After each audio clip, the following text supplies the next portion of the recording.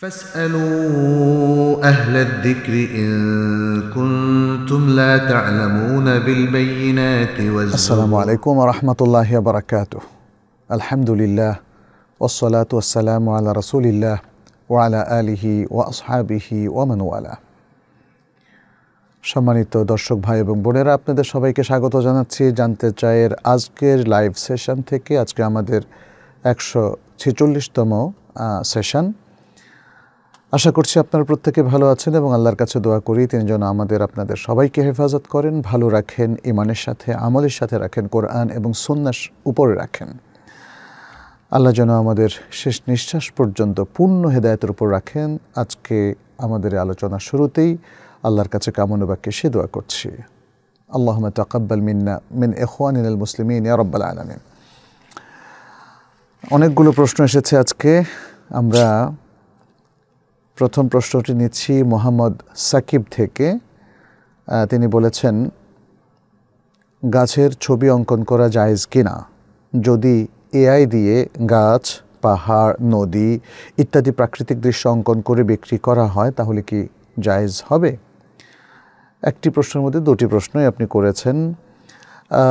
প্রথমত বলব যে আল্লাহ তাআলা তিনি পৃথিবীতে দু ধরনের জিনিস সৃষ্টি করেছেন।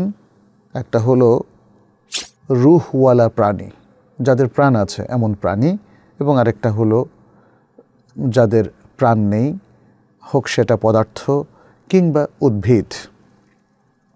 যেটি রসুল সাল্লাহ সাল্লাম বিভিন্ন হাদিসে নিষেধ করেছেন, সেটা হলো তসবিরু দ্যাত আরওয়াহ, তসবির দ্যাট আরওয়াহ। অর্থাৎ রুহযুক্ত বা প্রাণযুক্ত প্রাণী। এবং যদি প্রাণযুক্ত না হয়, অর্থাৎ প্রাণী না হয়, তাহলে তাদের তসবির জায়েজ আছে। এটি জমহুর ওলামাই কেরামের অভিমত।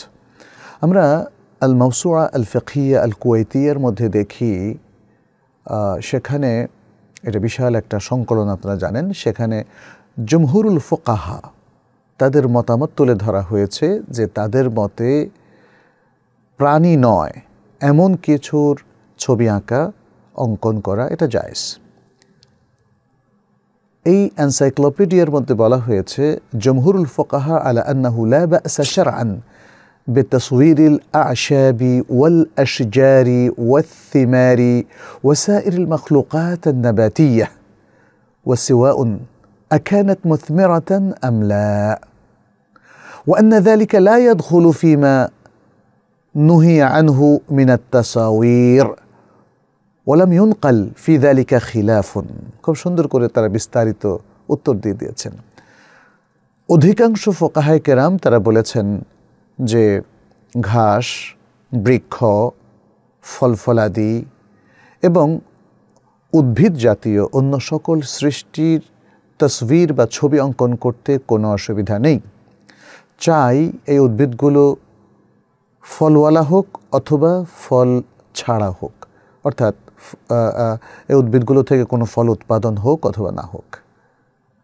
তারা আরও বলেছেন যে এই অঙ্কন, এই জিনিসগুলোর অঙ্কন, এটি নবী সাল্লাহ সাল্লামের সেই নিষেধাজ্ঞার মধ্যে অন্তর্ভুক্ত নয় যেখানে তিনি তসবির আঁকতে নিষেধ করেছেন। এবং এক্ষেত্রে তারা বলেছেন যে ওলামাই কেরামের কোনো খেলাফ এখানে বর্ণিত নেই। তাহলে এটা খুব শক্তিশালী একটা বিষয়।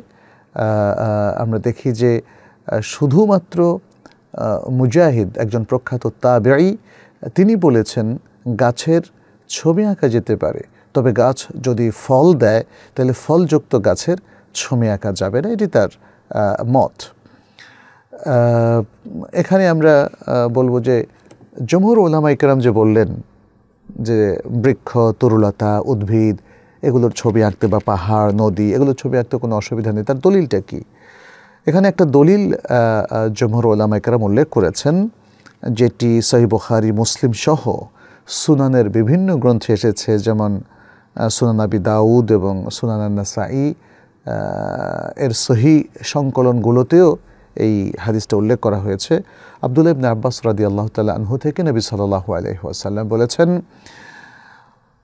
মনসৌরা সুরাতন ফি দুনিয়া, কুল্লিফা আইয়ান ফাখা ফিহা রুহা ওয়ালাইসা তিনি বলেছেন, যে ব্যক্তি দুনিয়ার মধ্যে কোনো সুরাত অঙ্কন করে, তাকে ওই সুরাতের মধ্যে রুহ ফুঁকে দেওয়ার দায়িত্ব দেওয়া হবে, নির্দেশ দেওয়া হবে, কিন্তু সে সেটা করতে পারবে না। তাহলে এই হাদিস স্পষ্ট করে আমাদের সামনে উল্লেখ করেছে যে অঙ্কনটা নিষেধ করা হয়েছে, সেটা রুহ রুহওয়ালা, রুহযুক্ত একটা প্রাণীর ছবি। ফলে এই জন্যই আল্লাহ সুমতাল্লাহ কেয়ামতের দিন তাকে বলবেন যে, এই যে ছবিটা তুমি আঁকলা, একটা প্রাণী, তার রুহ নাই, এখন তুমি রুহ দাও। সে তখন সেটা পারবে না।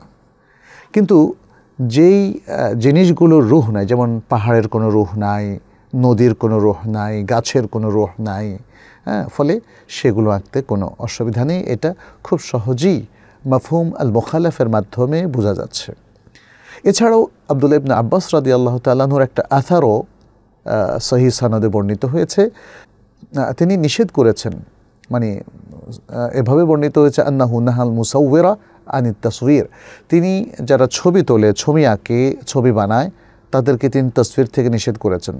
এরপর তিনি বলেছেন, ইন কুন্তেফা এলান যদি তোমাকে ছবি আঁকতেই হয় ফাসৌয়ের যারা তাহলে তুমি গাছের ছবি আঁকো ওয়ামালা রুহ হাফি এবং এমন কিছুর ছবি আঁকো যার মধ্যে কোনো রুহ নেই।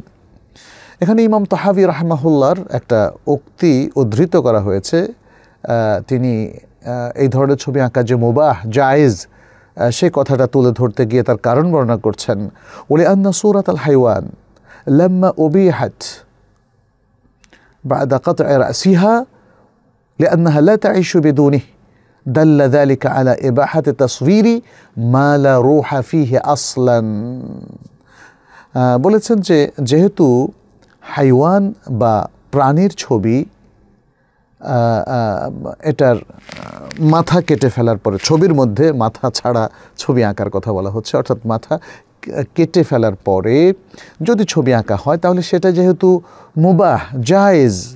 কারণ মাথা ছাড়া, এই যে, মাথা, কান, মুখ, এই যে উপরের অংশ ছাড়া কোনো প্রাণী বাঁচতে পারে না। ফলে এই অংশটা ছাড়া যদি প্রাণীর ছবি আঁকাও মুবাহ হয়ে থাকে, জায়েজ হয়ে থাকে, তাহলে এর দ্বারা এই জিনিসটা প্রমাণিত হয় যে যেগুলো রুহ আদতেই নাই, সেগুলোর ছবি আঁকা জায়েজ এবং মোবাহ। তাহলে আমরা এই আলোচনা থেকে স্পষ্ট বুঝে ফেললাম যে রাসুল সাল্লাহ সাল্লাম মূলত প্রাণীর ছবি আঁকতে নিষেধ করেছেন এবং পাহাড়, গাছপালা যে প্রকৃতি আল্লাহ সুবাহতাল্লাহ সৃষ্টি করেছেন, সেই প্রকৃতির নয়নাভিরাম দৃশ্যগুলো প্রাণীর ছবি বাদ দিয়ে আঁকতে, অঙ্কন করতে কোনো অসুবিধা নেই। এরপর আপনি বলেছেন এটা বিক্রি করা যায়, জায়েজ হবে কিনা। যেটা আঁকা জায়েজ, যেটা করা যায় যেটা বানানো জায়েজ, সেটা বিক্রি করাও জায়েজ। আপনার দ্বিতীয় আরেকটি প্রশ্ন আছে, তিনি আপনি বলেছেন, ফজরের সময় ওঠার জন্য অ্যালার্ম ঘড়ি ব্যবহার করার প্রয়োজন হয়। এখন অ্যালার্ম ঘড়ির যে শব্দ বা বাজনা সেটা কি হারাম হবে? হারাম হলে করণীয় কি? আচ্ছা অ্যালার্ম, তাই না? এটা একটা সাউথ একটা একটা শব্দ। আপনার অ্যালার্মটা যদি জায়েজ শব্দের মাধ্যমে তৈরি করা হয়, তাহলে সে অ্যালার্মটা জায়েজ হবে এবং সে অ্যালার্মটা বাজতেও কোনো সমস্যা নেই। কিন্তু অ্যালার্মটা যদি বাদ্য, বাজনা, মিউজিকের মতো হয়, যেটা শরীয়তে নিষেধ এবং হারাম, তাহলে আপনার এই ধরনের অ্যালার্ম ব্যবহার করা আপনার জন্য হারাম হবে। আপনার করণীয় হলো হারামটাকে আপনি বর্জন করবেন এবং আপনি হালালের মধ্যেই থাকবেন এবং হালাল অ্যালার্ম আপনি ব্যবহার করবেন। দ্বিতীয় প্রশ্ন পাঠিয়েছে মাইশা। বলেছেন, মেয়েরা যদি পর্দার খেলাপ না করে ঘরে বসে ফ্রিল্যান্সিং করে এটাকে জায়েজ হবে? উল্লেখ্য, এখানে পুরুষ ক্লায়েন্টদের সাথে কাজকে কেন্দ্র করে মেসেজে কথা বলতে হয়। পুরুষদের সাথে কথা বলা নিষিদ্ধ নয়, তবে তার শর্ত হচ্ছে মেয়েরা পুরুষদেরকে প্রশ্রয় দিয়ে কথা বলবে না অফিসিয়াল টোনে কথা বলবে ভদ্রভাবে, এবং তারা নরম ইনিয়ে বিনিয়ে কথা বলে কোনো পুরুষের অন্তরে তার নিজের প্রতি আগ্রহ তৈরি করবে না বা এই টেলিফোনে আলাপের মাধ্যমে সে কোনো অবৈধ সম্পর্কে লিপ্ত হবে না, সে কোনো প্রণয়মূলক সম্পর্কেও লিপ্ত হবে না। সে শুধুমাত্র প্রয়োজনীয় বৈধ কথার মধ্যে সীমাবদ্ধ থাকবে এবং তার অতিরিক্ত একটা শব্দ উচ্চারণ করবে না। তাহলে ফ্রিল্যান্সিং কাজটা যদি আদতেই হালাল হয়ে থাকে, তাহলে এটা মেয়েও করতে পারবে, ছেলেও করতে পারবে এবং বিপরীত লিঙ্গের মানুষদের সাথে কথা বলা সারিয়া নিষেধ করে না। কিন্তু বিপরীত লিঙ্গের মানুষের সাথে কথা বলার জন্য এই যে নীতিমালা আছে এবং যে শর্ত সারায়ত আছে, সেটা ফলো করতে হবে। তৃতীয় প্রশ্ন পাঠিয়েছেন মোহাম্মদ মিজান। তিনি বলেছেন, আমি একজন হাই স্কুল শিক্ষক, সহশিক্ষা, যেখানে ছেলেমেয়েরা একসাথে পড়াশোনা করে থাকে, একই সাথে বসে এবং এভাবেই পড়াতে হয়। সেই হিসাবে সহশিক্ষা যেহেতু জায়েজ নয়, আপনি বলেছেন, আমার আয় হালাল নয়। অর্থাৎ আপনি নিজেই সিদ্ধান্ত নিচ্ছেন যে আপনার আয় হালাল নয়। এটা আমি দিনের লাইনে এসে বুঝতে পেরেছি এখন এই টাকায় হজ করা যাবে কি না কারণ হারাম তো আল্লাহ গ্রহণ করেন না, আমি প্রায় পঁচিশ বছর শিক্ষকতা করেছি। ভাই মিজান, শিক্ষকতা আপনার হারাম কেন হবে সেটা তো বোধগম্য নয়। হ্যাঁ আপনার প্রতিষ্ঠান যদি ছেলে মেয়েদের একসাথে, বিশেষ করে তারা অ্যাডাল্ট হওয়ার পরেও বা মোমাইয়েস, একটু সাত আট বছর, নয় বছর বয়স হওয়ার পরেও বা উপরের বয়সে যাওয়ার পরেও যদি তাদেরকে একসাথে পড়ায় তারা সেরিয়া লঙ্ঘন করেছে, প্রতিষ্ঠান সেরিয়া লঙ্ঘন করেছে বাট আপনি সেরিয়া লঙ্ঘন করেছেন কি না আপনি সহশিক্ষার সুযোগ নিয়ে কোনো অ্যাফেয়ার্সে জড়িত হয়েছেন কি না বা মেয়েদের প্রতি কুদৃষ্টি দিয়েছেন কি না অথবা আমরা অনেক শিক্ষকদের ক্ষেত্রে যেটা জানি, তারা আসলে চারিত্রিক সততা হারিয়ে কোচিংয়ের মেয়েদের বা স্কুলের মেয়েদেরকে ভুলিয়ে তারা তাদের শ্লীলতাহানি করেন। আল্লাহ তাদেরকে হেদায়ত করুক। সেরকম কিছু যদি আপনি না করেন, বরং আপনি ছেলে মেয়ে, উভয়কে আপনার সন্তানের মতো দেখে যদি তাদেরকে পড়িয়ে থাকেন, তাহলে আপনার ইনকাম হালাল। রাসুল সাল্লাহ সাল্লাম তো মহিলা সাহাবিদেরকেও পড়িয়েছেন। তবে তিনি মহিলাদেরকে আলাদা সেশন নিয়েছেন। তাহলে পুরুষ হিসাবে আপনি মহিলাকেও পড়াতে পারেন, আপনি পুরুষকেও পড়াতে পারেন। আর আপনি যেখানে পড়িয়েছেন, সেটা ছিল ক্লাসরুম সেটা ওপেন এবং সেটা কোনো রুদ্ধ ঘর ছিল না যেখানে একটা ছেলে হিসাবে আপনি আছেন এবং আপনার একমাত্র ছাত্রী আছে। সেটা শরীয়তে নিষিদ্ধ, একদমই নিষিদ্ধ। আর যেখানে পাবলিক প্লেসে আপনি পড়াচ্ছেন, সেখানে যদি মেয়েরা পর্দা করে না আসে, সে দায়িত্ব তাদের এবং সেই পাপটা তাদের উপর বর্তাবে। অতএব এখানে পাশাপাশি তারা বসার কারণে বা সামনে ছেলে পেছনে মেয়েরা বসার কারণে যে সহশিক্ষার একটা সুযোগ তৈরি করা হয়েছে, তার জন্য আপনি দায়ী নন। ফলে আপনার শিক্ষকতার আচরণ এবং শিক্ষকতার দায়িত্ব পালন যদি আপনি সেরাই পন্থায় সঠিকভাবে, বৈধভাবে পালন করে থাকেন, তাহলে আপনার ইনকাম হালাল। ইনকাম দিয়ে আপনি হজ করতে পারবেন ইনশা আল্লাহ আর শুধুমাত্র আপনি একটা হাই স্কুলের শিক্ষক, যেখানে মেয়েরাও পড়তো, এই কারণে আপনার ইনকাম হারাম হয়ে যাবে না। সেটাই আমাদের বিশ্লেষণে আমরা মনে করি। আল্লাহ তালা আলাম। তাহমিদ আহমদ বলেছেন, নবী সাল্লাহ সাল্লাম সারাদিনে জোহরের সালাতের আগে খাবার খেয়ে বিশ্রাম নিতেন এবং রাতে ঈশার সালাত পেরে খাবার খেয়ে ঘুমিয়ে পড়তেন। চব্বিশ ঘন্টায় তিনি মাত্র দুইবার খেতেন। এ বিষয়টাকে সাহি? কীভাবে আমরা সাহি বলব? একজন মানুষ কি মাত্র দুবারই খায়? নবী সাল্লাহ সাল্লাম তো সকলে নাস্তাও করেছেন, সেটা অসংখ্য আদিস থেকে প্রমাণিত। তিনি একবার রোজা করে এসে দেখলেন সকালবেলা খুব সুন্দর খাসির গোশ পাক হচ্ছে। তিনি বললেন যে, তাহলে আমি রোজা ভাঙলাম। এটা ছিল নফজ সিয়াম এবং সেটা ভাঙা যায়। আরেকবার তিনি বাসায় আসলেন, সকালবেলায় এসে দেখলেন চাইলেন যে কিছু আছে কি না খাবার খাওয়ার মতো। কিছুই পেলেন না, বললেন যে, আমি তাহলে রোজা রাখলাম। তাহলে এই দুটো হাদিস থেকেও তো স্পষ্ট বোঝা যাচ্ছে তিনি নাস্তাও করেছেন। অথবা নাস্তা খাওয়ার জন্য এসেছিলেন বাসায়। কিন্তু তিনি তখন কখনো পেয়েছেন, কখনো পাননি। এরপর দুপুরে খেয়েছেন। দুপুরে খাওয়া, এটা তো দিবসের একটা গুরুত্বপূর্ণ খাবার। আর রাতের খাবার অথবা সন্ধ্যার খাবার যেটাকে আমরা ডিনার বলে থাকি, সেটা তিনি খেয়েছেন এবং তিনি মেহমানদারিও করেছেন। অসংখ্য হাদিস দ্বারা সেটা প্রমাণিত। অতএব রসুল সাল্লাহ সাল্লাম দিনে দুইবারের বেশিও খেয়েছেন। এমনও হতে পারে যে কখনো তিনি একবারও খেয়েছেন যখন খাদ্যের সংকট ছিল। তাই না? অতএব তার প্রতিদিনের হিসাব এখানে তো কোনো হাদিস উপস্থাপিত হয়নি যে রাসুল সাল্লাহাম তার জীবদ্দশায় কতবার তিনি দুই বেলা খেয়েছেন, কতবার তিনি তিন বেলা খেয়েছেন বা কত দিন তিনি একমাত্র এক বেলা খেয়েছেন বা কোন কোন দিন তিনি উপবাস থেকেছেন, সেরকম কোনো পরিসংখ্যান নেই। অতএব আন্দাজের উপরে তিনি মাত্র চব্বিশ ঘন্টায় দুবার খেতেন। এই ধরনের বক্তব্য প্রচার করা আমাদের জন্য সঠিক নয়। নাজনীন আক্তার বলেছেন, আমি একজন কিশোর। আমি যদি আমার এক কিশোর অমুসলিম সহপাঠীকে ইসলামের দাওয়াত দিই, সেক্ষেত্রে সমস্যাটা হবে যে সে তো এখন ইনকাম করতে পারে না। সেক্ষেত্রে তার পরিবার থেকে তাকে হয়তো বের করে দেবে। এখন কি তাকে দাওয়াত দেওয়া যাবে? আচ্ছা এখন একজন কি ইসলামের দিকে, সত্যের দিকে, কোরআনের দিকে, আল্লাহর দিকে দাওয়াত দেওয়ার জন্য আসলে এত কিছু ভাবার কি প্রয়োজন আছে? এটা তো সে নিজেই ভাববে, সে কি এখন ইসলাম গ্রহণ করতে পারবে নাকি পারবে না, অথবা তার ইনকাম নাই, এগুলো তাকেই ভাবতে দিতে হবে। নাজদিন আক্তার, এটা আপনার ভাবার কোনো প্রয়োজন নেই।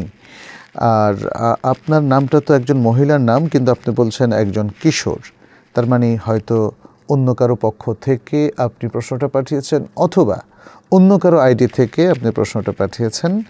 যাই হোক, এখানে ছেলে হোক, মেয়ে হোক, উভয়েই যদি তাদের কাছে ইসলামের জ্ঞানটা থাকে, বিশুদ্ধ জ্ঞান ইমান আমল, আকেদা, ইবাদত থাকে, তাহলে তারা যে কোনো মানুষকেই সত্যের দিকে আহ্বান করতে পারে এবং তার যত এক্সকিউজই থাকুক, ওজোরই থাকুক যে সে এখন পারবে কি পারবে না, সেই চিন্তা দাঁড়ির করাটা উচিত নয়। যাকে আহ্বান করা হচ্ছে তিনি তো তার অবস্ট্যাকলগুলো এবং তার বাধাগুলো তিনি দেখবেন এবং সব বাধা বিপত্তি পার হয়ে তিনি ইসলাম গ্রহণ করবেন, এটাই তো বিধান। আলী রাদি আল্লাহ তাল্লাহ যখন ইসলাম গ্রহণ করেছিলেন, তার বয়স কি দশ বছর ছিল না? তিনি কি তখন ইনকাম করতেন? তার বাবা ছিল আবু তালেব যার ব্যাপারে বিশুদ্ধ কথা হচ্ছে তিনি কখনোই ইসলাম গ্রহণ করেননি। কিন্তু তিনি রাসুল সাল্লাহ সাল্লামকে সব ধরনের সাপোর্ট এবং আশ্রয় দিয়ে গিয়েছিলেন। এবং তার গৃহে নবী সাল্লাহ সাল্লাম কত দিন, কত রাত তিনি কাটিয়েছেন, থেকেছেন। শেষ পর্যন্ত এই চাচা যাকে তিনি খুব ভালোবাসতেন বলেছিলেন যে, চাচা, আপনি একটু আস্তে করে আমার কাছে শাহাদাত বাণী উচ্চারণ করেন।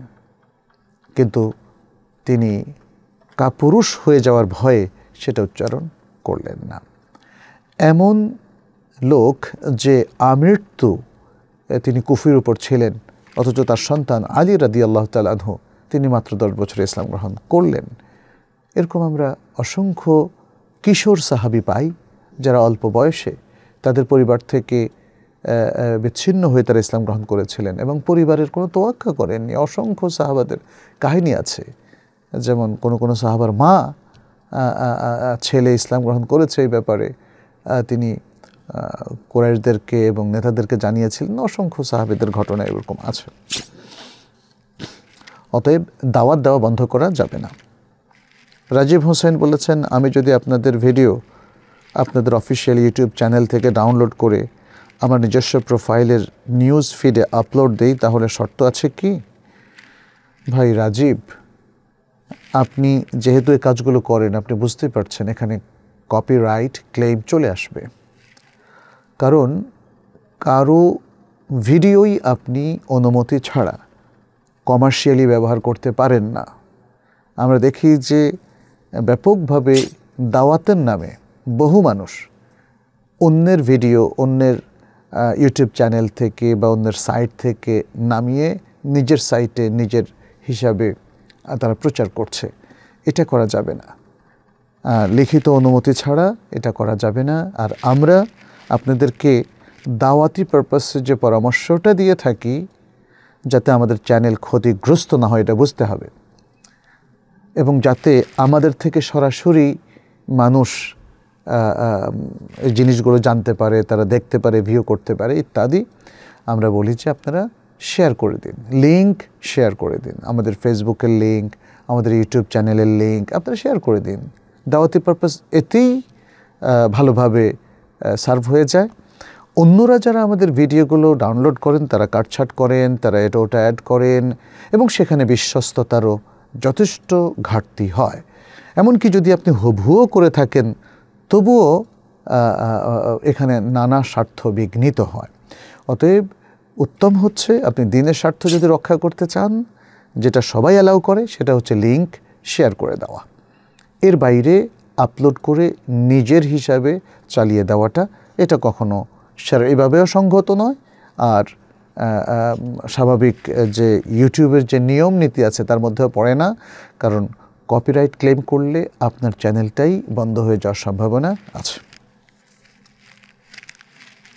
তালহা ইসলাম বলেছেন, আমি যদি ফুটবল খেলতে গিয়ে কাউকে অনিচ্ছাকৃতভাবে আঘাত করে ফেলি, তাহলে কি গোনা হবে? অনিচ্ছাকৃতভাবে আঘাত করে ফেলেন, এটা তো কথাটা এভাবে শুদ্ধ নয়। আপনার সাথে যদি অনিচ্ছাকৃতভাবে কেউ হয়তো আঘাতপ্রাপ্ত হয়, এটা হতে পারে।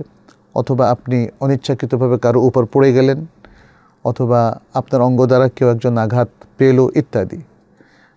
কেউ যদি আঘাত করে, এটা পেছনে অনেক সময় ইচ্ছা থাকে এবং ফুটবলে সবাই ইচ্ছা করে আঘাত করে, যাতে প্রতিপক্ষকে থামিয়ে দেওয়া যায়, তাকে আহত করা যায়, তাকে ক্ষতিগ্রস্ত করা যায়, যাতে যেতে যায়। এটা সাধারণত ফুটবল টুর্নামেন্টগুলোতে হয়ে থাকে অথবা যেখানে প্রতিযোগিতা থাকে।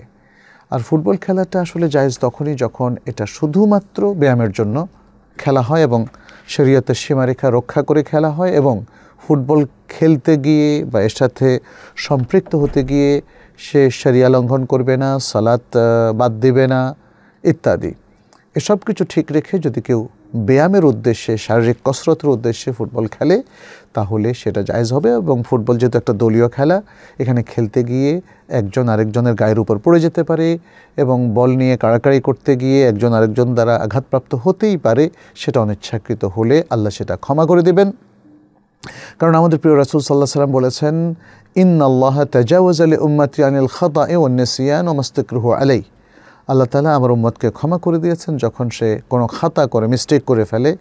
মিস্টেকটা মানেই হচ্ছে অনিচ্ছাকৃত কোনো কাজ করে ফেলে, অথবা সে যদি ভুলে যায় কিংবা তাকে যদি বাধ্য করা হয়। নাম প্রকাশে অনিচ্ছুক একজন ভাই হ্যাঁ বোঝাই যাচ্ছে তিনি ভাই। তিনি আমাদের কাছে একটা বড় প্রশ্ন পাঠিয়েছেন, আমরা সেটা পাঠ করছি। তিনি বলেছেন, আমার পরিচয় গোপন রাখার জন্য অনুরোধ করছি। আপনি তো ভাই নামই বলেন নাই, আমরা পরিচয় তো আর প্রকাশ চাইলেও করতে পারব না। আমি গত কোরবানি ঈদের পরপরই বিয়ে করেছি, প্রায় তিন মাস হলো। আমাদের বৈবাহিক জীবনে বেশ কিছু জটিলতা দেখা দিয়েছে। বিয়ের পর থেকেই আমার স্ত্রী আমাকে বলে যে, সে আমাকে পছন্দ করে না। এটা বিয়ের আগেই সে তার বাসায় জানিয়েছে, কিন্তু বাসা থেকে তাকে অনেক বোঝানোর পর সে এক পর্যায়ে বিয়েতে সম্মত হয়। এখন বিয়ের পরও সে বলে যে, সে আমাকে মেনে নিতে পারে না। আমার থেকে দূরত্ব রেখে চলে। স্বাভাবিক যে সম্পর্ক স্বামী স্ত্রীর মধ্যে তা হচ্ছে না। সে ঢাকা বিশ্ববিদ্যালয়ের হলে থেকে পড়াশোনা করে আর আমি কর্মসূত্রে চট্টগ্রাম থাকি। অনেক দিন হলেও দেখা হয় না আমাদের। আমি যেতে চাই, কিন্তু সে নিষেধ করে, ফোনেও কম কথা হয় গোনা থেকে। আর সে নিষেধ করে মানে তার কাছে যেতে নিষেধ করে। গোনা থেকে বেঁচে থাকার উদ্দেশ্যেই আমার বিয়ে করা, অথচ তা এখন কঠিন হয়ে যাচ্ছে। বুঝতে পারছি না কী করা উচিত, আপনার পরামর্শ প্রয়োজন। ভাই, আপনাকে প্রথমত পরামর্শ দেব, এই ধরনের জটিল পরিস্থিতিতে আপনাদের কাউন্সেলিং নেওয়া প্রয়োজন। আপনি এই যে আমার একটা দুটো কথার উপর ভর করে কোনো একটা পদক্ষেপ নেবেন, সেটা হয়তো খুব ওয়াইজ নাও হতে পারে। তাহলে আপনার জন্য উচিত হবে আপনার হোল ডিটেলসটা নিয়ে কোনো একজন বিজ্ঞ, প্রাজ্ঞ ব্যক্তিদের কাউন্সেলিং করা। এবং সবচেয়ে ভালো হয় যদি আপনার স্ত্রী সহ একসাথে ফিজিক্যালি অথবা ইভেন গুগল মেট কিংবা জুমে আপনারা আসতে পারেন। সরাসরি লাইভ সেশন নিয়ে কথা বলতে পারেন। মেয়েরা অবশ্যই তাদের ভিডিওটা অফ রাখবে। তো এই অবস্থায় কিছু কাউন্সেলিং হলে চেষ্টা করে দেখা যেত যে আসলে আপনাদের সমস্যাটা কি এবং সেটা রিকভার করা যায় কি না আচ্ছা যদি কোনোভাবেই সংসারকে টিকিয়ে রাখার কোনো প্রক্রিয়া ফলো করা না যায় এবং হয়তো স্ত্রী অ্যাডামেন্ট যে না, তিনি আসলে সংসার করবেনই না, তখন স্বামী হিসাবে আপনার আর কী করা? আপনি তাকে অ্যালাউ করে দেন। মিউচুয়াল আন্ডারস্ট্যান্ডিংয়ের মাধ্যমে তালাক হতে পারে অথবা এই মহিলা, যেহেতু আপনার কোনো দোষ নেই, তার শুধু আপনার সাথে সংসার করতে ইচ্ছে হচ্ছে না, ফলে সে খোলাও করতে পারে। সে ইচ্ছে করলে খোলা করতে পারে, অথবা আপনি দয়াপরবশ হয়ে তাকে মিউচুয়াল আন্ডারস্ট্যান্ডিংয়ের মাধ্যমে তালাক দিতে পারেন। আর যেহেতু এখানে আপনার কোনো দোষের কথা আপনি উল্লেখ করেননি, তাহলে এটাও হতে পারে। আপনারা যেহেতু ভালোভাবে সংসার করছে না, করছেন না, আপনি যদি ইতিমধ্যে তার পুরো মহারানা না দিয়ে থাকেন, তাহলে এক্ষেত্রে আপনারা মিউচুয়াল আন্ডারস্ট্যান্ডিং এটাও করতে পারেন যেটা অনেকটা খোলার মতোই যে বাকি মহারানাগুলো দেওয়া হবে না এবং আমরা তাহলে সেপারেট হয়ে যাই সেরাই বন্ধন অনুযায়ী। এটা হতে পারে। তালাক এবং খোলা আমরা বলব, যখন এটা প্রমাণিত হবে যে কোনোভাবেই এ সংসারে টিকে থাকবে না বা মহিলা রাজি হচ্ছে না তখন খোলা করবেন অথবা তালাকের মিউচুয়াল আন্ডারস্ট্যান্ডিংয়ের মাধ্যমে ব্যবস্থা করবেন। এটাই হচ্ছে আপনাদের শেষ পরামর্শ। তবে প্রাথমিকভাবে আমি বলব, আপনারা চেষ্টা করে যান যাতে আপনাদের সংসারটা টিকে যায়। এটা শরিয়ার প্রথম ফোকাস এবং শরিয়ার ফার্স্ট রেকমেন্ডেশন। মোহাম্মদ আব্দুর রহমান খান, তিনি আমাদের কাছে পরবর্তী প্রশ্নটি পাঠিয়েছেন, বলেছেন, আমি একজন ফ্রিল্যান্সার হতে চাই। গ্রাফিক ডিজাইন নিয়ে কাজ করতে চাই ফ্রিল্যান্সিং মার্কেট প্লেসে ফ্রিল্যান্সিং মার্কেট প্লেসে ফাইবার অ্যাকাউন্ট খুলতে গেলে অনেক কিছু মিথ্যা তথ্য দিতে হয়। দিতে হয় নাকি আপনি দিচ্ছেন? এটা একটু ব্যাপার, তাই না? আপনি সত্য তথ্যও তো দিতে পারেন, তাই না? এটা দিতেই হয়। ব্যাপারটা আসলে প্রশ্ন যেভাবে বলা হয়েছে তা নয়। যেমন আপনি বলেছেন যে একটা বায়ো প্রোফাইল ডেসক্রিপশন এই প্রোফাইল ডেসক্রিপশনে মিথ্যা কিছু তথ্য দিতে হয়, আবারও বলেছেন দিতে হয়, আসলে দিলে আপনার সুবিধা হয়, এটা বলেন। যেমন, আমার কোনো কোনো কাজের অভিজ্ঞতা আছে আমার কোন কোন কাজের অভিজ্ঞতা আছে এবং আমার পাঁচ বছরের অভিজ্ঞতা আছে অথবা চার বছরের অভিজ্ঞতা আছে, অথচ আমার অভিজ্ঞতা শুধু তিন মাস, চার মাস, ছয় মাস, এক বছর, এরকম। তাহলে এই যে পাঁচ বছর, চার বছর আমরা যে তথ্য, মিথ্যা তথ্যটা দেই, এটা কি জায়েজ হচ্ছে? ভাই আব্দুর রহমান খান, আপনি নিজেই বলেন, এটা কি জায়েজ হচ্ছে? তাই না? এটা তো যে কোনো মুসলিমই বলবে যে কোনো মিথ্যাই জায়েজ নেই। প্রথমত আপনার ফ্রিল্যান্সার হতেই হবে কেন?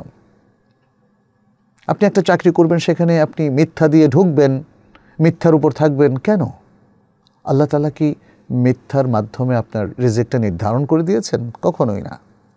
আল্লাহ তালা হালালটাকেই বেশি প্রশস্ত করে দিয়েছেন, সত্যের উপর থাকাটাকেই বেশি সহজ করে দিয়েছেন। আপনি মিথ্যা অ্যাভয়েড করুন, বর্জন করুন। কোনো মিথ্যা এখানে অ্যালাউড না, অনুমোদিত না। আপনি সত্য কথাই বলুন।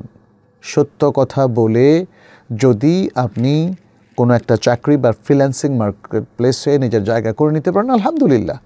না পারেন আপনি অন্য কোনো হালাল জব দেখেন।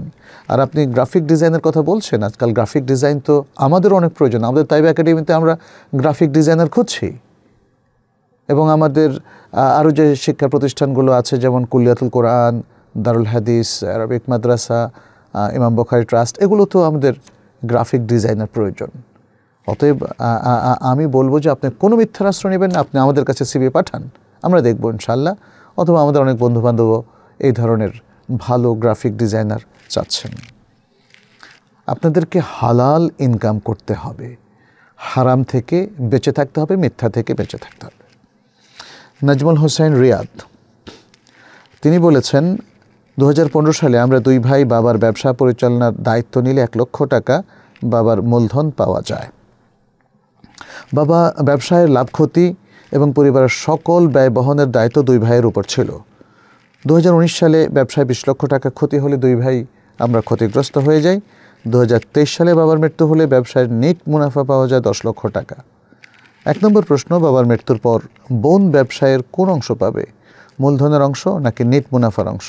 দুই, বাবার মৃত্যুর পর ব্যবসা ভাই পরিচালনা করে লাভ লোকসান করলে ক্ষতি, ঋণগ্রস্ত হলে বোন কি কোনো অংশ পাবে? আচ্ছা মানে আপনারা বোনের অংশ নিয়ে প্রশ্নটা তুলেছেন। ব্যবসাটা বাবার, বারবার কিন্তু আপনারা সেটাই বলেছেন। প্রথমে এক লক্ষ দিয়ে শুরু করলেও উনিশ সালে আপনারা ব্যবসাকে বড় করেছেন বোঝাই যায়, তা নাহলে বিশ লক্ষ টাকা কীভাবে ক্ষতি হবে? নিশ্চয়ই সে ব্যবসাটা এক লক্ষ থাকিনি হয়তো এক কোটি টাকার কাছাকাছি চলে গেছে, বাট বছরের শেষে আপনারা বিশ লক্ষ টাকা ক্ষতিগ্রস্ত হয়েছেন বা ঋণগ্রস্ত হয়েছেন। আচ্ছা ঋণগ্রস্ত হলে মানে সেটার পরিণতি কি হয়েছে সেটার পরে বলেননি, তবে আমরা ধরেই নিচ্ছি এই ঋণটা শোধ হয়ে গেছে। ফলে দু হাজার তেইশ সালে যখন আপনাদের বাবা মারা যায়, তখন আপনারা প্রফিট পেয়েছেন। এই ঋণ, টিন সব কিছু বাদ দিয়ে আপনারা প্রফিট পেয়েছেন কত? দশ লক্ষ টাকা। এই দশ লক্ষ টাকা মুনাফা পেয়েছেন। মুনাফা পেয়েছেন। যেটা আপনি উল্লেখ করেননি যে বাকি কত লক্ষ টাকা ব্যবসার মধ্যে ইনভেস্টেড আছে, সেটা আপনি উল্লেখ করেননি। আমরা বুঝতেই পারছি যে দশ লক্ষ টাকা যদি নেট মুনাফা হয়, তাহলে অবশ্যই সে ব্যবসাটা এক কোটি, দেড় কোটি, দুই কোটি টাকার হতে পারে বা ইভেন পঞ্চাশ, ষাট, সত্তর লাখ টাকাও হতে পারে। বাবার মৃত্যুর পরে বোন, এই নিট মুনাফা এবং মূলধন দুটোরই অংশ পাবেন। আপনারা দুই ভাই এবং এক বোন। আপনাদের মা আছেন কি না সেটা বলেননি, তাহলে আমরা হয়তো বলে দিতে পারতাম কে কত পাবেন। তবে যারা সাহাবুল ফরোদ, যারা সুনির্দিষ্ট অংশের ওয়ারিস, তারা তাদের অংশ নেওয়ার পরে আপনারা বাবার ছেলে মেয়ে হিসাবে বাকি অংশটা পাঁচ ভাগ হবে, তার মধ্যে দুই ভাগ নেবেন প্রত্যেক ছেলে বা ভাই আর এক ভাগ পাবেন বোন। আমরা ধরে নিই যদি আপনাদের মূলধন এবং এই যে নেট প্রফিট দশ লক্ষ টাকা, সব মিলে ধরে নিলাম পঞ্চাশ লক্ষ টাকা আছে। তাহলে ভাইয়েরা পাবেন বিশ লাখ বিশ লাখ করে এবং বোন পাবেন দশ লাখ। এটা হচ্ছে অন্য ওয়ারিসরা তাদের অংশ নেওয়ার পরে। কারণ এখানে দুই ভাই এবং এক বোন, তারা হচ্ছেন আসাবা। ওয়ারিস বাট আসাবা। ওয়ারিস দুই প্রকার, আপনারা জানেন। এক প্রকার হলো যাদের সুনির্দিষ্ট অংশ কোরআন বলে দিয়েছে। যেমন মায়ের অংশ বাবার অংশ, স্বামীর অংশ, স্ত্রীর অংশ, এভাবে কোরআন বেশ কিছু অংশ বলে দিয়েছে। আর সন্তানের ক্ষেত্রে বলা হয়েছে লিদ্দাকারে মিসলু হাদ্দিল উনথায়াইন সুরাতুন নেসার। এগারো নম্বর আয়াতে আল্লাহ তালা এগারো, বারো, তেরো, তিনটা আয়াতে আল্লাহ তালা বিস্তারিত বর্ণনা করেছেন। তবে তিনি ভাই বোনের ব্যাপারে বলেছেন, ইউসিকুমুল্লাহ ফি আউলাদিকুম লিদ্দাকারে মিসলু হাদ্দিল উনথায়াইন আল্লাহ তালা তোমাদের সন্তানদের ব্যাপারে নির্দেশ দিচ্ছেন যে ছেলে সন্তানের জন্য দুইজন মেয়ে সন্তানের সমান অংশ থাকবে। অর্থাৎ ছেলে পাবে দুই, মেয়ে পাবে এক। দুজন মেয়ে একজন ছেলের সমান পাবে। এই। আপনার দ্বিতীয় প্রশ্ন হচ্ছে, বাবার মৃত্যুর পর ভাই ব্যবসাটা পরিচালনা করে লাভ লোকসান করলে ঋণগ্রস্ত হলে বোন কোনো অংশ পাবে? যদি বাবার ব্যবসাটাই আপনারা বন্টন না করে চালিয়ে যান, তাহলে এটা বাবার ব্যবসা হিসাবে ধরা হবে এবং আপনাদের এই ব্যবসার মধ্যে দুই ভাইয়ের যে রেশিও বোনের যে রেশিও সে অনুযায়ী নেট প্রফিটটাও বন্টন হতে থাকবে যতদিন না আপনারা বোনের অংশ আলাদা করে তাকে বুঝিয়ে না দেন। বোনকে তার অংশ বুঝিয়ে দিলে তখন আর এই দুই ভাইয়ের ব্যবসার মধ্যে তার কোনো অংশ থাকবে না। আর উত্তম হচ্ছে দুই ভাইও তাদের নিজ নিজ অংশ, বাবার অংশ থেকে আলাদাভাবে বুঝে নেবেন। তারপর যদি তারা আবার শরিকানা বিজনেস করতে চান, করবেন। কিন্তু যেটা অত্যন্ত বড় ধরনের গর্হিত কাজ এবং কবিরা গুনাহের কাজ, সেটি হচ্ছে বাবার মৃত্যুর পরে তার সম্পদ ভাগ না করা। আনফর্চুনেটলি আমাদের বাংলাদেশে, আমাদের বিভিন্ন গবেষণায় আমরা প্রমাণ পেয়েছি যে আমাদের বাংলাদেশে অধিকাংশ ফ্যামিলিগুলো এখনও পুঙ্খানুপুঙ্খ রূপে সেরাইভাবে এই মিরাজটা বন্টন করে না, যেটা আসলে মানবাধিকার লঙ্ঘনের সামিল এবং অন্যের অধিকার খাওয়া অথবা কারও উপর জুলুম করার স্কোপ বাড়িয়ে দেয়। অনেক বেশি আল্লাহ আমাদেরকে হেদায়ত করুন। আমি আপনাদেরকে বলব খুব দ্রুত, ইতোমধ্যে যদি আপনারা বন্টন না করে না করে থাকেন, তাহলে এখন বন্টন করে দিন। পরবর্তী প্রশ্ন পাঠিয়েছেন শাওন মাহমুদ, বলেছেন, পছন্দের মানুষের খোঁজ খবর অন্যের মাধ্যমে নেওয়া যাবে কি? সেও পছন্দ করে, আমিও পছন্দ করি, বিয়ে করতে চাই। তাহলে এই পছন্দটা আপনাদের কেমনে হইল? সেটা তো একটা প্রশ্ন, তাই না? এটা যদি কোনো প্রেম, প্রীতি, প্রণয়ের মাধ্যমে হয়, তাহলে তো অবৈধ কিছু আপনারা করেই ফেললেন। আর যদি এমনটা হয় যে অন্য কারও মাধ্যমে একটা মেয়ের খোঁজ পেলেন, জানতে পারলেন তার যোগ্যতা ভালো, দিনদারি ভালো, দেখতে শুনতেও ভালো, বংশ ভালো। তখন আপনার আগ্রহ তৈরি হলো এবং সেও যখন আপনার সিভিটা দেখতে পেল সিভি বায়োডাটা এটা দেখার পরে তারও আগ্রহ হলো, এই প্রক্রিয়াটা শরীয়তে জায়েজ। এবং তখন যদি আপনারা কোনো মিডিয়ার মাধ্যমে অথবা কোনো ব্যক্তির মাধ্যমে বা কোনো আত্মীয়ের মাধ্যমে, মুরব্বীর মাধ্যমে, আপনারা বিবাহটাকে এগিয়ে নিয়ে যেতে চান এটাই হলো আইডিয়াল এটাই হলো আইডিয়াল পদ্ধতি, এভাবেই আপনাদেরকে যেতে হবে। কিন্তু আপনি যদি কোনো মেয়েকে পছন্দ করে বসেন এবং তার সাথে আলাপচারিতা করে আগে থেকে একটা সম্পর্ক গড়ে তোলেন, দেখা সাক্ষাৎ করেন, পার্কে ঘুরেন এবং ক্লোজ হন, তাহলে এটা প্রচণ্ডভাবে শরিয়া লঙ্ঘনের সামিল। শরিয়া এটা কখনোই অ্যালাউ করে না। আমরা আশা করব যে আপনারা যারা বিবাহ করতে আগ্রহী, তারা শরিয়ার নীতিমালা প্রয়োগ করে এবং অনুসরণ করেই আপনারা বিবাহ বন্ধনে আবদ্ধ হবেন, তাহলে সেই বিবাহের মধ্যে আল্লাহ সুমতাল্লাহ অনেক অনেক বেশি বারাকা দেবেন ইনশাআল্লাহ। মোহাম্মদ নাজমুল তিনি বলেছেন যে আবু হরারা নামটা রাখা যাবে কি না আবু হরারা এটা একটা কুনিয়া আসলে, এটা নাম নয়। কুনিয়া মানে হচ্ছে উপনাম। হুরায়রা হচ্ছে ছোট বিড়াল, বিড়ালের বাবা। আব্দুর রহমান বিন সাখার রাদি আল্লাহ তালাহু তাকে নবী সাল্লাহ সাল্লাম এই কুনিয়াটা দিয়েছিলেন আবু হোরায়রা। এখন কেউ যদি কুনিয়াটাকেই নাম হিসাবে ব্যবহার করতে চায়, শরিয়াতে সেটা নিষিদ্ধ না। সেই হিসাবে আপনি যদি আবু হোরায়রা নামে কাউকে নাম রাখতে চান, তাহলে কোনো শরিয়াতে নিষেধাজ্ঞা নেই। মাহমুদুল্লাহ বলেছেন আমি ঢাকা সরকারি আলিয়া মাদ্রাসা থেকে অনার্স করেছি, কুষ্টি ইউনিভার্সিটির অধীনে। আল কোরআন ইসলামিক স্টাডিজ এবং মাস্টার্স করেছি, একই বিভাগে আরবি বিশ্ববিদ্যালয়ের অধীনে। এখন এমফিল করতে চাই জাতীয় বিশ্ববিদ্যালয়ের অধীনে এমফিল প্রোগ্রামে আমরা কি আপনাকে অ্যাডভাইজার হিসাবে পেতে পারি কি না পেলে নিজেকে এলেম অর্জনে নিয়োজিত করতে উৎসাহী হব। আল্লাহ সুবাহতাল্লাহ আপনাকে যাজায় খায়ের দান করুন, আমিন। আপনি আমিন বলেছেন, আমরা আমিন বললাম। যাই হোক, আপনারা অ্যাপ্লাই করুন, যেহেতু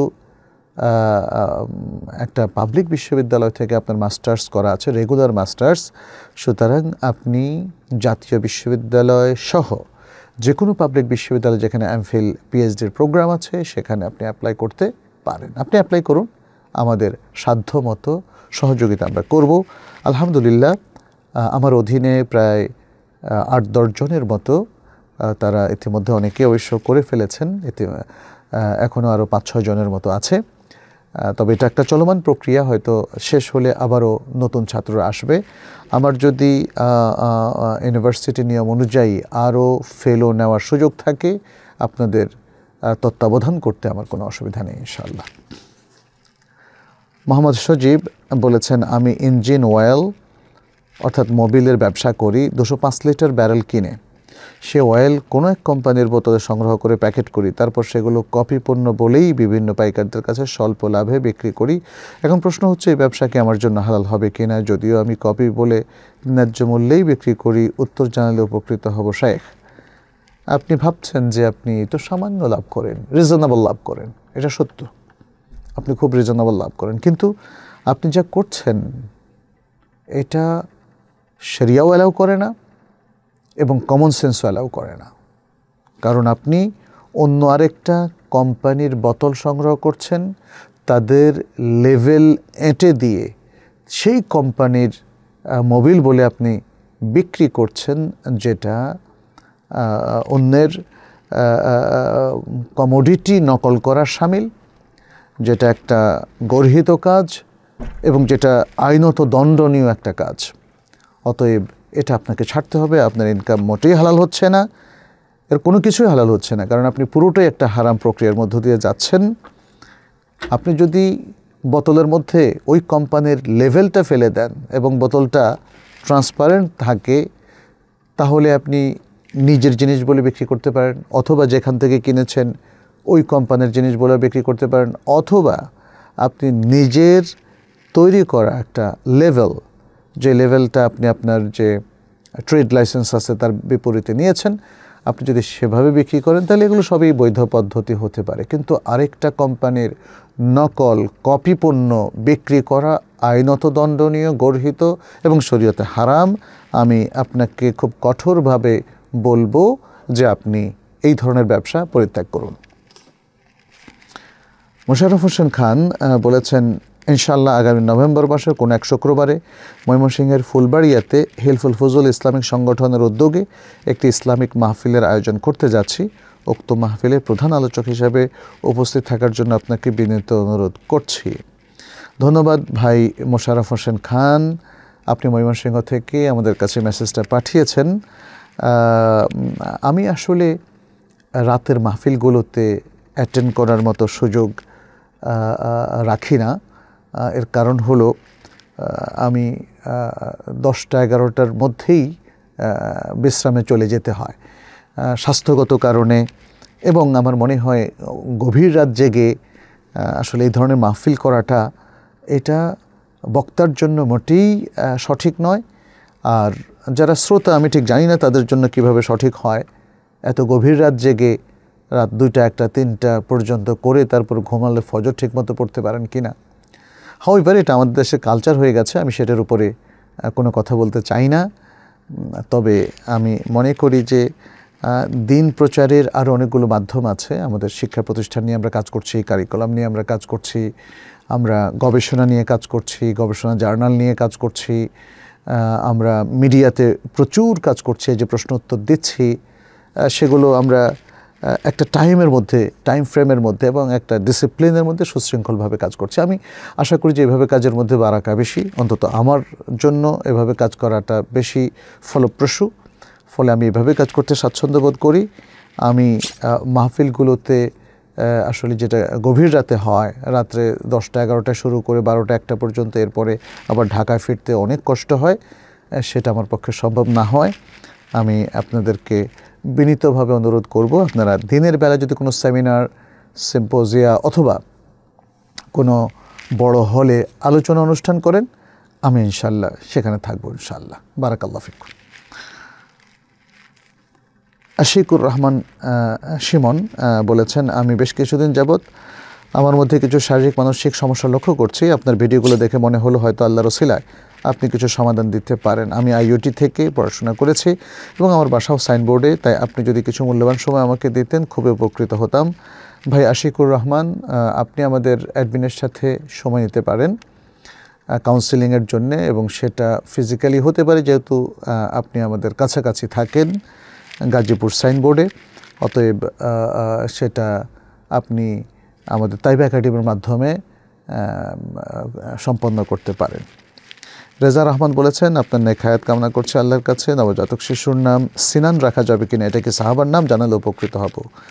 ভাই রেজা রহমান, আমিও আপনার নেখায়াত কামনা করছি, হায়াতে তৈবাও কামনা করছি। আল্লাহ যেন আমাদেরকে পবিত্র জীবন দান করেন, হেফাজত করেন, আপনাকেও করেন। নবজাতক শিশুর নাম সিনান রাখা যাবে। এটা একজন প্রখ্যাত, অতি প্রখ্যাত সাহাবার নাম। সিনান ইবনু আবি সিনান মুহাজির ছিলেন। তিনি ইয়াসরেব তথা মদিনায় হিজরত করেছিলেন। তিনি বদ্রি সাহাবা ছিলেন।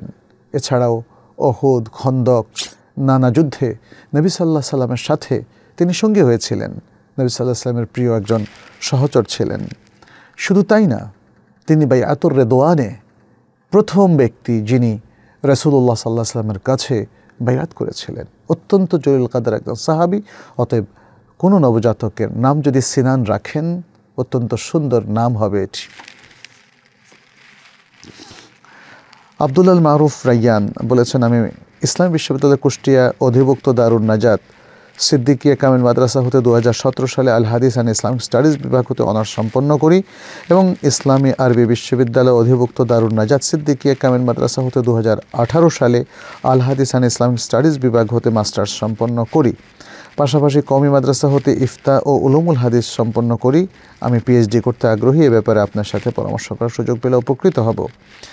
ইনশা আল্লাহ ভাই আবদুল্লাহ আল মারুফ ধন্যবাদ।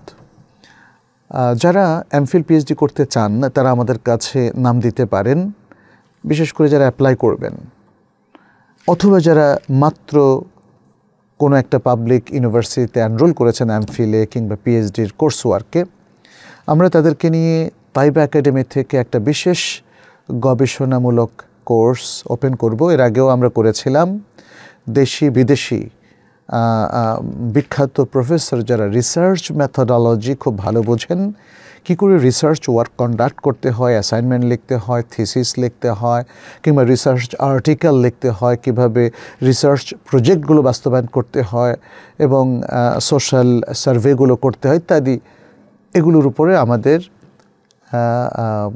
বেশ ইন্টেন্সিভ বেশ কিছু কোর্স আমরা অফার করেছি এবং সামনে করব বলে আশা করছি। অতএব আপনারা যারা পিএইচডি করতে আগ্রহী, আপনারা আমাদের কাছে নাম দিন। আমাদের তাইব একাডেমিতে আমরা বিশ থেকে পঁচিশ জন হলেই একটা কোর্স ওপেন করে দেব, ইনশাআল্লাহ। এবং আপনারা বেশ কিছু ভালো রিসোর্স পাবেন।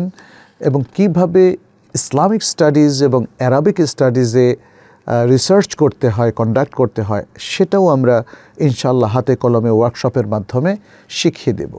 ফলে যারা আগামী বছর বা ছয় মাস পরে যারা এই ধরনের কোর্স কোর্সে অ্যানরোল করতে চান গবেষণায় এমফিল বা পিএইচডিতে তারা এই ধরনের একটা কোর্স করে রাখলে আমার মনে হয় আপনাদের এনরোলটা সহজ হবে ইন্টারভিউটা সহজ হবে, কারণ আপনাদের কাছে রিসার্চ ম্যাথোডলজি সম্পর্কে জানতে চাওয়া হবে এবং আপনার সিনপসিসটাও দেখা হবে যে কতটা সুন্দর টপিক আপনি এখানে তৈরি করেছেন সিনপসিসটা কীভাবে তৈরি করেছেন এবং এটার উপর ভিত্তি করে আপনার এনরোলমেন্টটা আপনি সাধারণত বিখ্যাত পাবলিক ইউনিভার্সিটিগুলোতে পেতে পারেন, এমনকি বিদেশেও। ফলে আপনাদের জন্য একটা অত্যন্ত ভালো কোর্স আমরা অফার করতে যাচ্ছি। আমাদের কাছে আপনারা নাম লিখাতে পারেন। এবারে আপনাদের কিছু লাইভ কোশ্চেন আমরা নেব ইনশাল্লাহ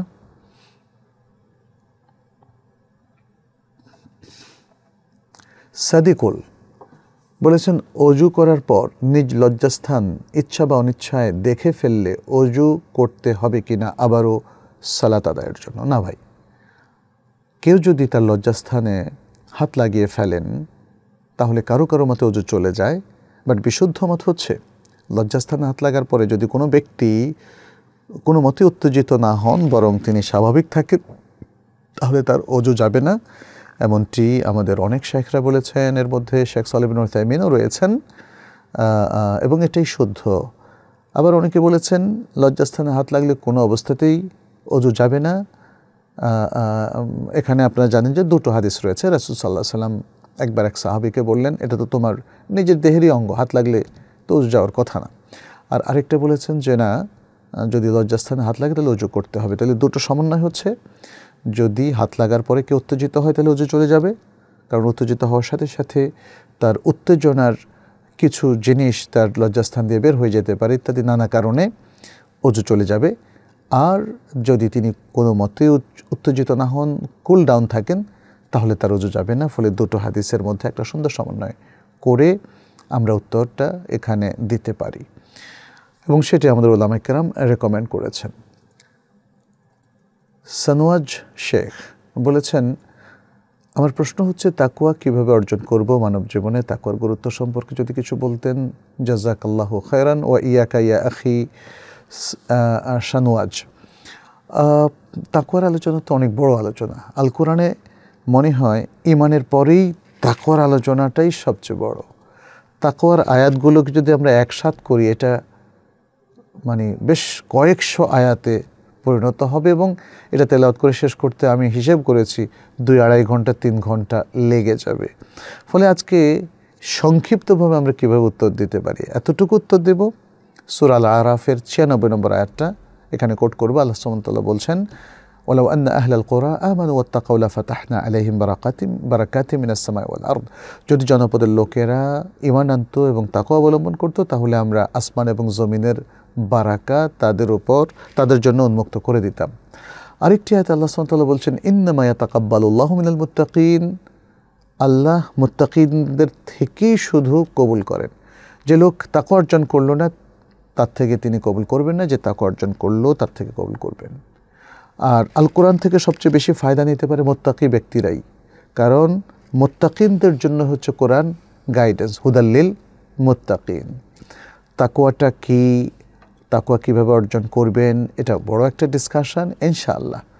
আপনি দেখতে থাকুন, আমরা কোনো এক প্রোগ্রামে এক্সক্লুসিভলি তাকুয়ার উপর আলোচনা করব। এর উপর অবশ্য অতীতে আমরা অনেক বেশি আলোচনা করেছিলাম। আমি জানি না সেই রেকর্ডের আলোচনাগুলো আমাদের অনলাইনে আছে কি না আমরা তাকুয়ার উপরে কিছু লিখা কনক্রিট সুন্দর কিছু বইও আপনাদের জন্য উপহার দেব।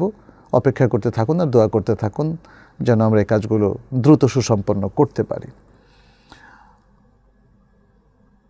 রনি এম এইচ রনি বলেছেন, সিগারেট তামাক কোম্পানিতে চাকরি করা কি একজন মুসলমানের জন্য হালাল হবে না? হালাল হবে না, কারণ সিগারেট পান করা হারাম। তামাক সেবন করা হারাম, তামাক উৎপাদন করা হারাম। অতএব এগুলো যারা প্রডিউস করবে, সেটাও হারাম হবে, বাজারজাত করা হারাম হবে, বিক্রি করাটা হারাম হবে, কেনাটাও হারাম হবে। অতএব সেখানে চাকরিটাও কখনোই হালাল হবে না। পারভেজ তপি বলেছেন, শুক্রবারে সুরা কাহাফ কি বৃহস্পতিবার সূর্যাস্তের পর থেকে পড়া যাবে নাকি শুক্রবার সূর্যাস্ত, সূর্যোদয়ের পরে পড়তে হবে? ভাই, আরবি দিনগুলো শুরু হয় আগের দিনের সূর্যাস্তের পর। তাহলে বৃহস্পতিবার সূর্য অস্ত যাওয়ার পর থেকে শুক্রবার শুরু হয়ে যায়, অতএব আপনি সুরা কাহাফ। বৃহস্পতিবার দিনের পরে যে সূর্যটা অস্ত যায়, সন্ধ্যা চালু হয়ে গেলেই আপনি পড়তে পারবেন ইনশাল্লাহ সঞ্জিদ আক্তার বলেছেন, নারীরা তাদের প্রয়োজনীয় জিনিস কেনাকাটার জন্য পর্দা করে বাজারে যেতে পারবে কিনা? নাকি বাজারে যাওয়া তাদের জন্য সম্পূর্ণ নিষিদ্ধ? বাজার খুব ভালো জায়গা না সেখানে প্রয়োজন ছাড়া যাওয়াটা উচিত না। তবে যাদের প্রয়োজন, সে পুরুষ হোক আর নারী হোক, সে বাজারে যেতে পারবে, বাজারের আদব রক্ষা করবে, আর নারীদের জন্য স্পেশাল যেটা লাগবে সেটা হচ্ছে তার পর্দা রক্ষা করা। সেটা আপনি অলরেডি বলেছেন প্রশ্নের মধ্যেও। পর্দা রক্ষা করা, নিজের ইজ্জত, সম্ভ্রম, নিরাপত্তা মেনটেন করে নারীরা বাজারে গিয়ে দ্রুত চলে আসবেন, তাহলে এটা শরিয়াসম্মত হবে ইনশাআল্লাহ। উম্মে খাদিজা বলেছেন যেসব ব্যায়ামাগারে গান চালানো হয়, সেখানে ব্যায়াম করা কি হালাল হবে? কারণ যে ব্যায়াম করছে, তার ইচ্ছা তো গান তার ইচ্ছাতে তো গান চলে না, জিমের মালিক এবং অন্য মেম্বাররা চালান, দয়া করে একটু উত্তর দিবেন। তার মানে হচ্ছে আপনি যেখানে যান, যে জিমে যান, সেখানে গান চলে। অতএব আপনি চাচ্ছেন যে গানটাও শোনেন, কারণ এর তো আপনার ইচ্ছা চলে না। অথবা চোনার, শোনার হয়তো ইচ্ছা নাই আপনার, কিন্তু তারা চালাচ্ছে। দোষটা তার, আপনার না। আপনি নিজেকে এখানে পাপমুক্ত দেখতে চান। তো আমরা বলব যে নৌ যেই জায়গাগুলো পাপের জায়গা, গান যেখানে হয়, বাদ্য বাজনা যেখানে বাজে, যাত্রা গান, পালি গান যেখানে চলে, কিংবা নাচ গান যেখানে চলে, সেগুলো পাপের জায়গা, সেগুলো থেকে আপনাকে দূরে থাকতে হবে। আপনার জন্য ব্যায়ামাগার প্রয়োজন, ভালো কথা। কিন্তু ব্যায়ামাগার হতে হবে শরিয়াসম্মত ব্যায়ামাগার আপনি তো একজন মহিলা তাহলে মহিলাদের জন্য স্পেশাল ব্যায়ামাগার থাকতে হবে এবং সেখানে মহিলারা, মহিলাদের সামনে তাদের প্রাইভেসি রক্ষা করতে হবে। এমন না যে মহিলারা মহিলাদের সামনে অশালীনভাবে চলতে পারেন টাইট পোশাক পরতে পারেন ট্রাউজার পরে তিনি ব্যায়াম করবেন সেখানে। নো মহিলাদের ব্যায়ামাগারগুলো অবশ্যই স্পেশাল হতে হবে, যেখানে কোনো মহিলা, অন্য মহিলার কোনো সতর দেখবেন না এবং শারীরিক সৌন্দর্য অবহিত হবেন না। ছেলেদের ক্ষেত্রে আমরা যেমন, যে জামাটা আমি যেমন এখন পরে আছি, এই জামা পরে আমরা ব্যায়াম করতে পারি। ফলে ছেলেদের ক্ষেত্রে পর্দা, পুশিদা বা প্রাইভেসি মেনটেনটা অনেক সহজ, যেটা মেয়েদের ক্ষেত্রে কঠিন। সুতরাং আমরা বলব, ছেলে হোক আর মেয়েই হোক এই যে বিধানগুলো আছে, নীতিমালাগুলো আছে, সেগুলো ফলো করেই আমাদেরকে ব্যায়ামাগারে যেতে হবে গান বাজনা বন্ধ রেখে এবং সতর ঢেকে ইত্যাদি ইত্যাদি সবগুলোর ক্ষেত্রে আমাদের শরীয়তের নীতিমালা মেনে চলতে হবে। নাফিসা করিম বলেছেন digital marketing content marketing data entry digital marketing এগুলোর মধ্যে ইনকামের উপর ইসলামের বিধান কি জায়েজ? কিন্তু আপনার কন্টেন্টগুলো জায়েজ হতে হবে, পদ্ধতিগুলো জায়েজ হতে হবে। মার্কেটিং এখানে কোনো ডিসিপশন ধোকাবাজি, প্রতারণা থাকতে পারবে না। এখানে কোনো অশ্লীলতা থাকতে পারবে না। নারী দেহকে প্রদর্শনী করে পণ্য বানিয়ে আপনি এই সমস্ত কন্টেন্ট তৈরি করতে পারবেন না বা মার্কেটিং করতে পারবেন না। যেটা আজকে খুবই রেয়ার প্রায় সবাই নারীদেরকে পণ্য হিসাবে ব্যবহার করে শরীয়তকে লঙ্ঘন করেন। আবদুল্লাহ আল নোমান বলেছেন, আমরা রফল ইয়াদাইন করি প্রথম বৈঠকের পর, কিন্তু আমরা আমাদের, আমরা জামাতে নামাজ পড়ার পর প্রথম রাকাত ছুটে গেলে কি বলছেন এখানে? আমরা প্রথম বৈঠক বা দ্বিতীয় রাকাতের পর রফল ইয়াদাইন কীভাবে করব? আচ্ছা রফল ইয়াদাইন করার ব্যাপারে ওলামাই কেরামের একাধিক মত রয়েছে। তবে সবাই একমত যে যখন আমরা সালাত শুরু করব তখন আল্লাহ একবার বলে এই যে কাঁধ বরাবর অথবা কান বরাবর, কাঁধ বরাবর অথবা কান বরাবর আমরা হাত উঠাবো। এটাকে রফুল ইয়াদান বলা হয়। প্রথম রফুল ইয়াদানের ব্যাপারে কারও কোনো দ্বিমত নেই। অন্য রফুল ইয়াদানগুলো যেমন রুকুর আগে, রুকুর পরে। আমি যখন সুরা ফাতেহার পরে অন্য সুরা মিলিয়ে শেষ করব, প্রথম রাকাতে আমি রুকুতে যাব। তো যাওয়ার আগেই কাঁধ বরাবর অথবা কান বরাবর আল্লাহ আকবার বলে তারপরে আমরা রুকুতে যাব। তারপরে রুকু থেকে উঠে আবার আল্লাহ আকবার অথবা কাঁধ বরাবর অথবা কান বরাবর আমরা হাত তুলে বলব।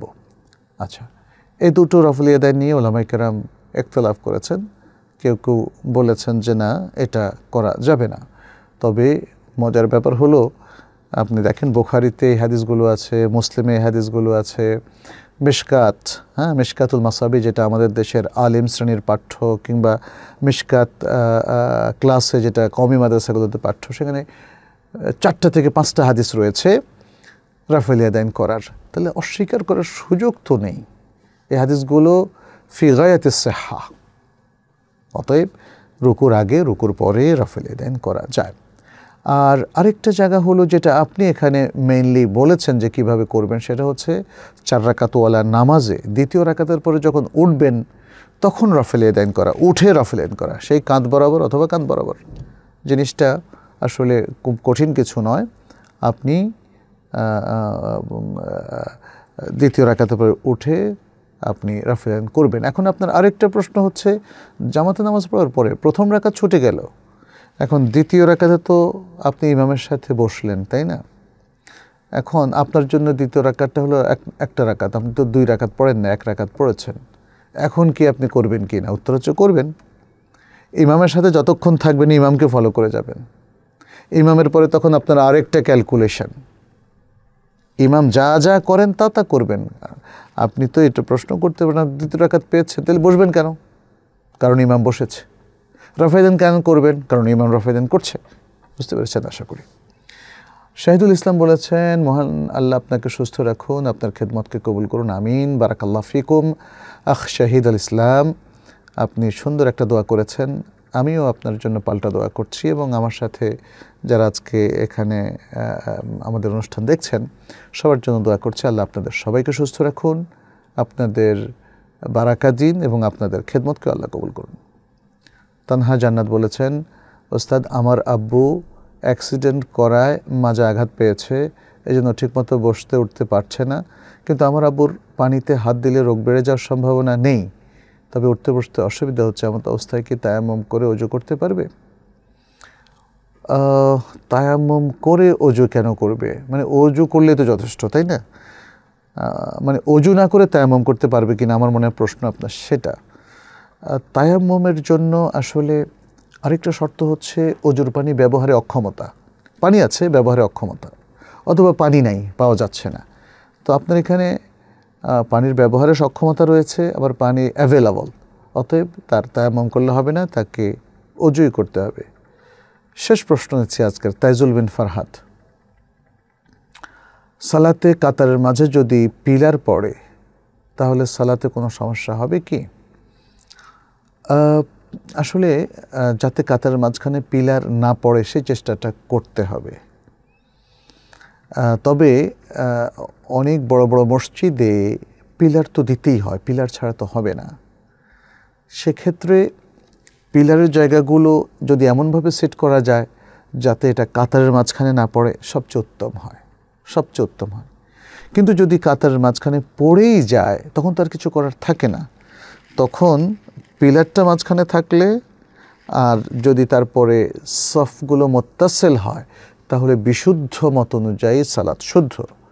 কেউ কেউ এই পিলারওয়ালা রাকাতগুলো অ্যাভয়েড করতে বলেছেন, বাট আমরা স্টাডি, গভীরভাবে স্টাডি করার পরে ওলামায় কেরামের মতামত বিশ্লেষণের পরে দেখছি এবং যে মতটা আমরা পোষণ করছি সেটা হলো তাদের সালাদটা শুদ্ধ। তবে তারা যাতে তাদের সফটটা মোত্তাসেল হয় যেন উল্টাপাল্টা না হয়, সেদিকে খেয়াল রাখবেন। যাই হোক, সম্মানিত ভাই এবং বোনেরা, আপনারা যারা আমাদের সাথে ছিলেন, ধন্যবাদ জানাচ্ছি এবং দোয়া করছি, বারাকাল্লাহ ফিকুম ও হাফেজাকুমুল্লাহ ও হাইয়াকুমুল্লাহ ও হাদাকুমুল্লাহ। আল্লাহ আমাদের সবাইকে হেদায়তের উপর রাখুন।